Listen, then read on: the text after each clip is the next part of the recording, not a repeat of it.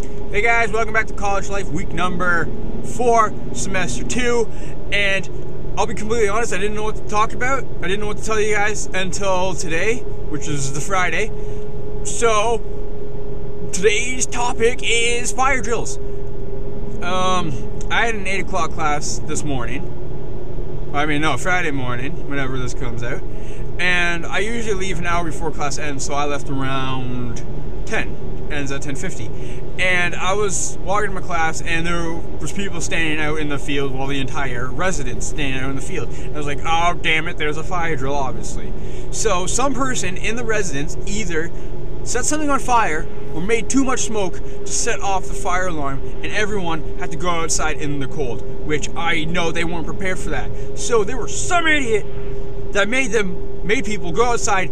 Some people might have been like just stepped out of the shower. Some people might have just been mid shower. I don't know, but don't be that person that makes people step outside in the cold because that's not cool. People won't like you when they find out that you're the one who decided to burn your popcorn in your microwave.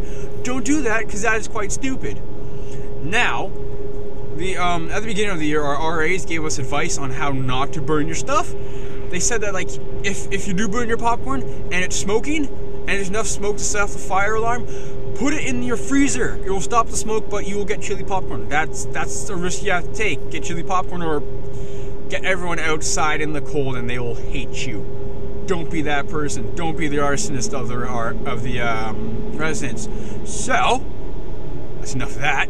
Now, speaking of fire, I have to turn left here. Speaking of fire, the song I am thinking of is "Through the Fire and Flames" by Dragon Force. I think it's a great song. A lot of people probably have heard it. It's an old song. A lot of people also might, might not like it, but I think it's epic. So you guys go listen to that song. Don't be an arson. And I will see you guys next week. Week number five. Again, no idea what I'm going to talk about. I'll think of something.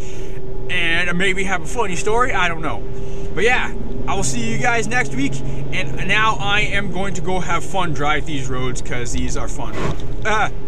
That was water. All right. Bye bye.